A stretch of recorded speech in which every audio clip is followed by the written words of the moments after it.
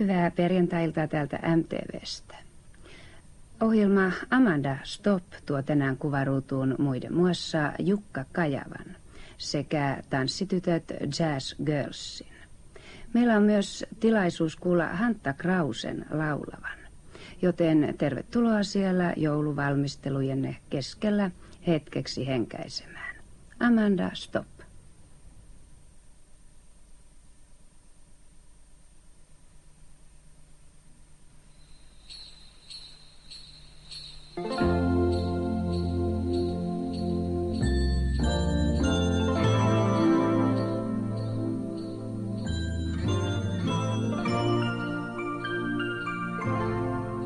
Hyvällä mallilla näyttää olevan.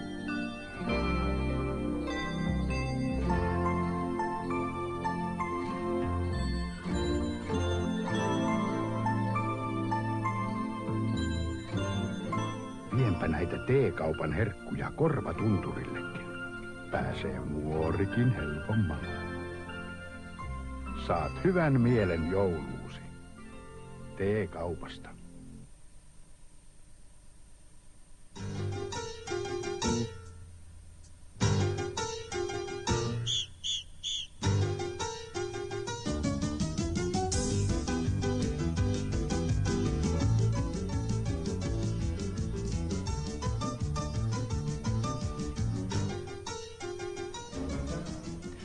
Hei taas.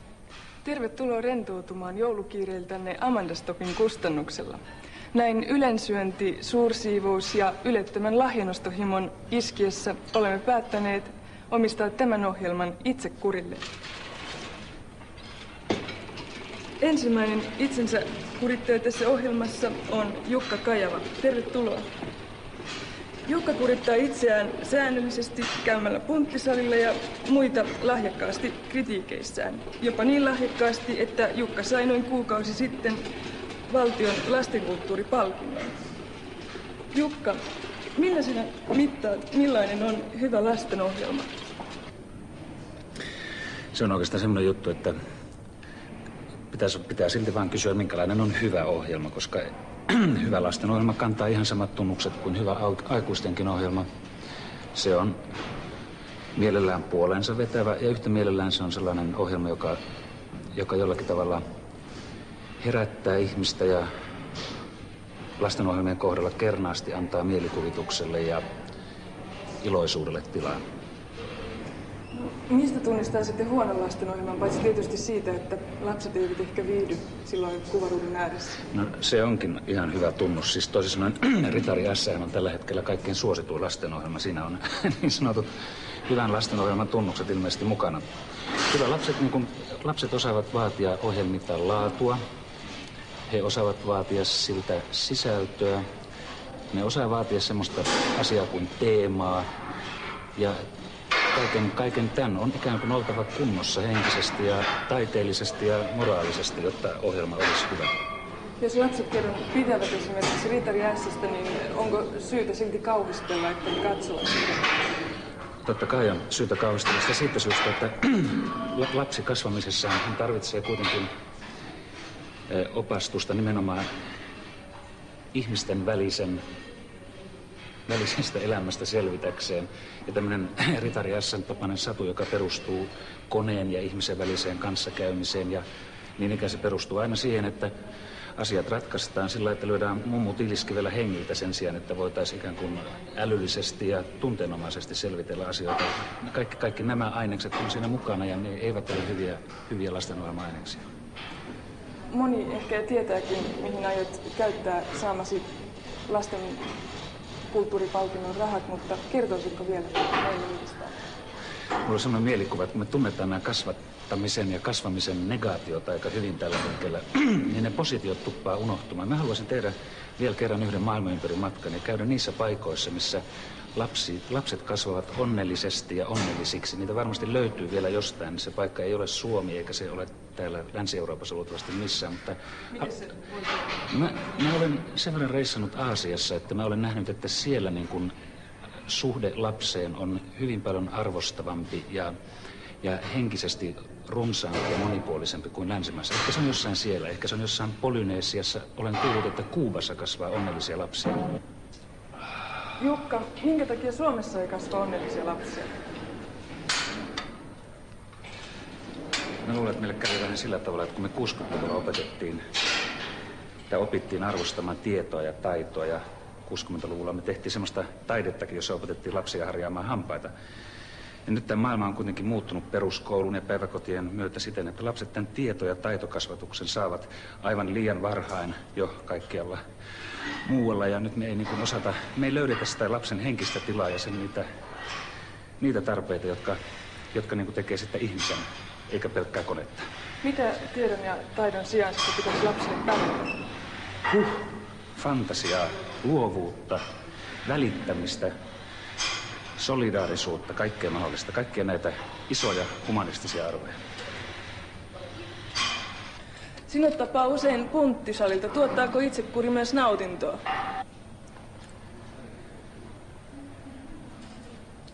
Usko tai elä, kyllä tuottaa. Oletko miten säännöllisesti käynyt nyt punttisalilla?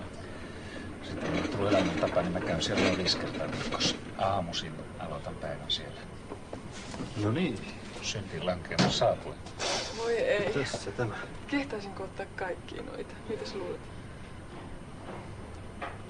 Mitä tässä muuten on? Tuossa on mansikkaa toi ensimmäinen, sitten on suklaavanukas. Mitä toi päällä on? Onko siihen tavallista kermavahtoa? Se on tavallista kermavaahtoa pikkusen rommia mausteena. Kuulostaa innoittavalta.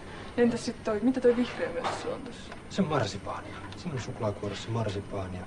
Tuo sellaisia pieniä piparin tapaisia. Missä on vähän sokerivesikuorotusta ja sukaattia ynnä muuta ynnä muuta pientä makeata. Toi, toi, toi, toi näytti ihan terveelliset hedelmäsalaatit. Se täytyy jättää väliin. Joo. Ja sitten, mikä tuo ihan keltainen on tuo? Siinä on appelsiinitorttu. Kummalle hyllylle sä meet makaamaan? Kummallekin. Okei, Kummalta mä saan aloittaa? sitten aloittaa. Joo. Joo. Mä otan tästä päältä ainakin kaikkia noita. Ensin. Aloitetaan reunasta. Joo. Mitä siinä on välissä? Se on tommonen, vähän tuollaista kreemiä ja sitten kostutettu mansikka. mansikka. Mikä dieetti tää nää Tää, tän, nimi, tän tietin nimi on lopun alku.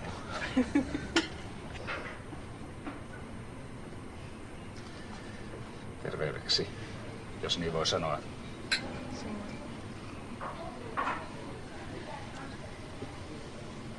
Eiköhän aloittaa.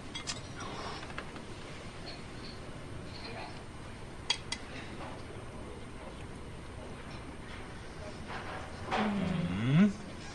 Siis mun mielestä on itse asiassa melkein ihanampaa livetä itse kurista, kun harjoittaa sitä ahkerasti. Lipeet sä usein muuta. Kyllä mä lipen. Musta on kyllä mukavaa molemmat, mutta täytyy sanoa, että joskus illalla, kun on koko päivän elänyt ihan kamalan terveellisesti noin kello 11.30 asti ja tehnyt töitä ja niin edespäin, niin sitten on niin kuin aika hauskaa avata jääkaappi ja ruveta äh, syömään. Lipeet sä millään muulla tavalla kuin ylensyömisellä. No tällä tämmöisellä kaikella kulinaarisella humputtelulla. Mutta toivottavasti, tai aika, aika säännöllisesti kyllä se kuitenkin on lipeämättäkin. Musta nimittäin elämässä on semmoinen asia, että ihmisten täytyy kasvaa, mutta ei vatsan kohdalta. Tota, mikä saa sut lipeämään itse kurista? Ja kyllä se on varmaan se, mikä saa useimmat ihmiset, eli paljon töitä ja tuntuu aina välillä siltä, että elämä on vain pelkkää työn tekemistä ja sitten, sitten se ruoka muodostuu jonkinlaiseksi. Se on semmoista sokeria arjelle.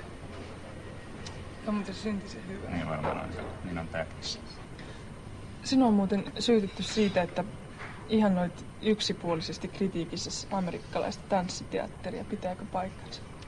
No ei se sillä tavalla pidä paikkaansa, onhan siellä hirveän paljon hörölöröäkin, mutta kyllä mä hirveästi ihailen amerikkalaisten taiteilijoiden tämmöistä itsekuria ja tinkimättömyyttä, ammattitaitoa ja monipuolisuutta, loputonta monipuolisuutta. Löytyykö meiltä Suomesta mitään vastaavaa tämmöistä ryhmää, jolla olisi itsekuria ja sitä kautta saatu osaamista? Mä luulen, että nämä ihmiset, jotka tekee taidetta jollakin tavalla musiikin kautta, on usein, usein semmoisia ihmisiä. Mä olen esimerkiksi tehnyt semmoisen ryhmän kuin Jazz Girlsien kanssa kolmeenkin otteeseen työtä. Mä aina nostan hattuun niille likoille, koska ne, ne on aina joka kerta yhtä jänteviä ja tietäviä ja valmiita tekemään kaikkea mahdollista. Mitä kaikkea sä sitten luet tämmöiseen itsekuriin tuommoisen esittävän taiteilijan elämässä? Missä kaikessa pitäisi hellitä itseä? I, ihan kaikessa paitsi viisastumisessa. Se on, se on semmoinen työ, jossa ikään kuin ihmiset maksavat siitä, mitä taiteilija tuottaa, ja silloin sen taiteilijan pitää aina olla parhaassa mahdollisessa kunnossa.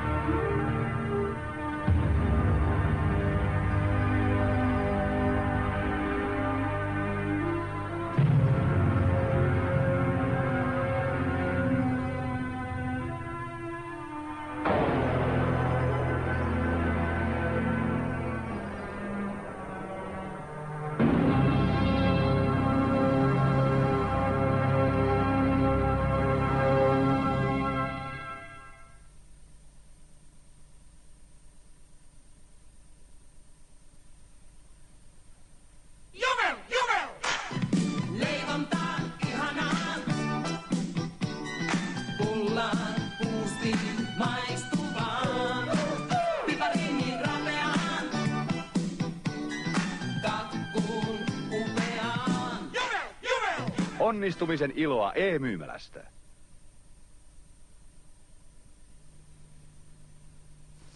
Vihreät rikoiset jazzgirlsit notkeilivat meille näytteen tanssista muutoksia olemattomalla rajalla. Se sijoittui toiselle jaetulle sijalle parisen vuotta sitten Kölnin kansainvälisissä koreografiakilpailuissa. Mutta jotta tästä ohjelmasta ei nyt tulisi ihan miesten kehumista, niin annetaanpa tyttöjen näyttää taitojaan vielä toisenkin kerran. Tässä pätkä tanssista Female.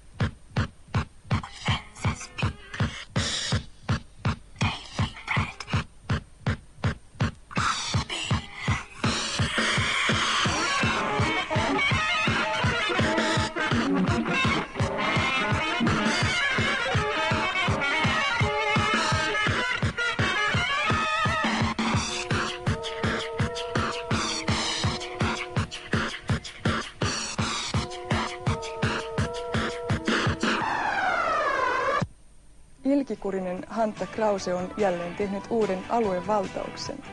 Seuraavaksi näemme pätkän Hantan upoudesta musiikkivideosta Flirttailemaan.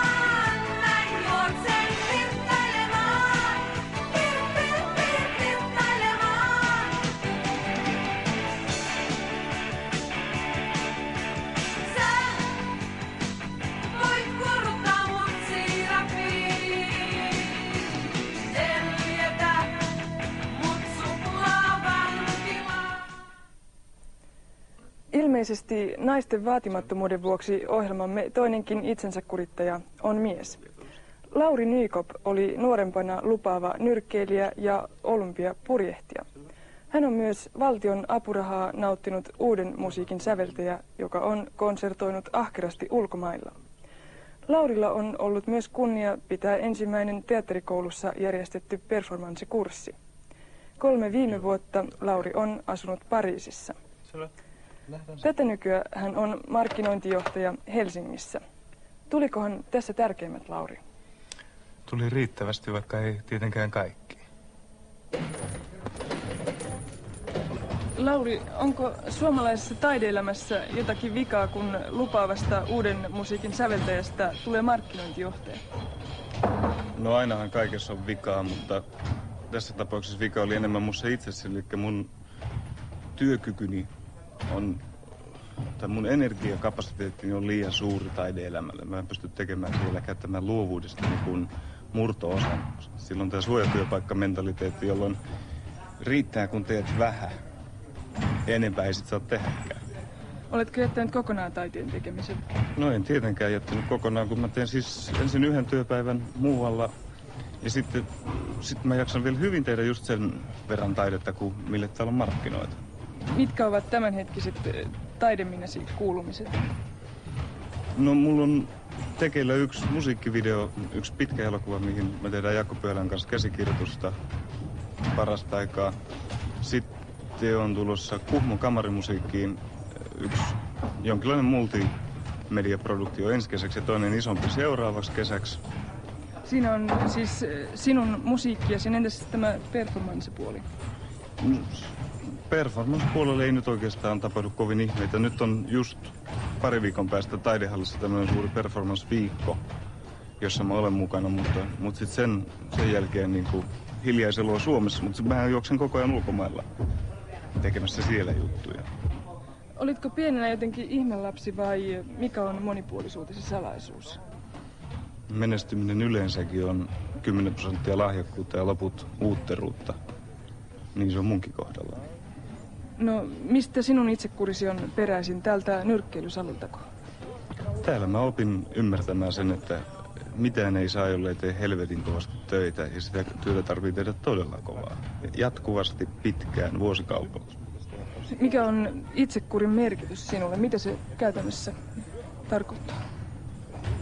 No, se on ensinnäkin kyky suuntautua koska tahansa uudestaan mihin tahansa.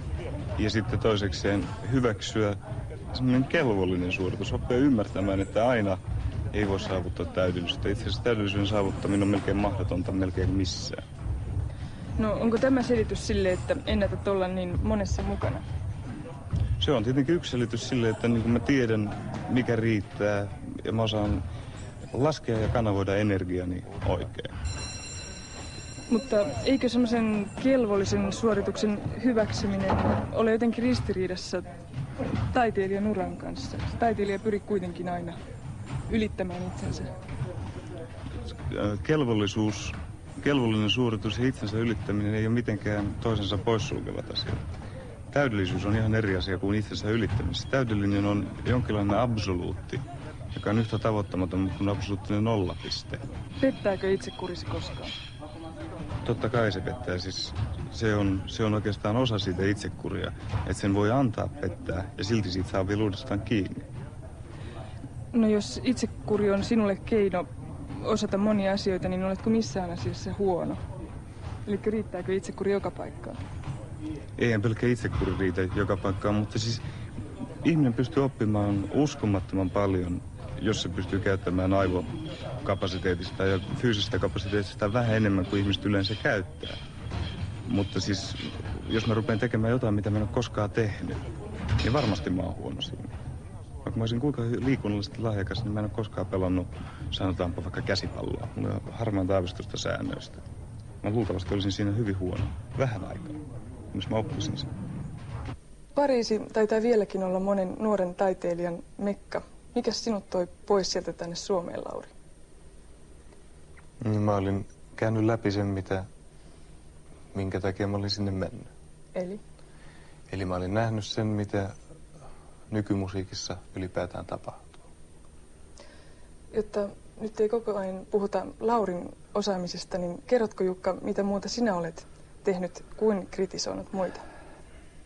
No mun mielityötäni on ollut uima, lasten uimaopettaminen, se oli kauhean kiva, mutta sitten mä oon opetellut ohjaamaan kaikenlaista viihdettä ja teatteria ja vähän muotiakin. Kun tässä on nyt koko ajan puhuttu itsekurista ja siitä, että mihin sillä pääsee, niin kummasta loppujen lopuksi on sitten kyse, tai missä kulkee se raja, että kun te teette niin monenlaista koko ajan, onko kyse itsekurista vai keskittymiskyvyn puutteesta? Tai ahneudesta.